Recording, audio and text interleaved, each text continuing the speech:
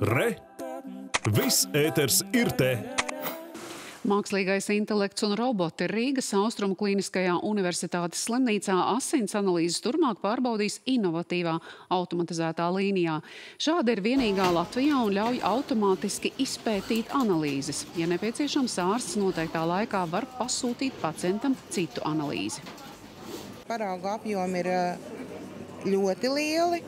Ar šo līniju mēs varam prioritizēt eh, paraugus, eh, kuri ir akūtāk veicami, nepieciešami, kuri nav akūtāk veicami. Plus paralēli ar šo līniju palīdzību mēs izslēdzam daudzus starposmus, ko sauc par cilvēku faktoru iesaisti, piemēram, centrifugēšanā, paraugu ievade, iekārtās. Tas viss notiek automātiski. To nodrošina šī preanalītiskā sistēma. Un līdz ar to tas samazina arī, protams, izmeklējumu veikšanas laiku.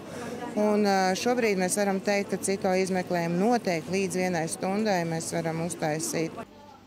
Automatizētā līnija iegādāta par pašas slimnīcas līdzekļiem. Tā izmaksājusi 10 miljonus eiro. Slimnīca plāno turpināt automatizāciju un pievienot sistēmai arī citas ierīces.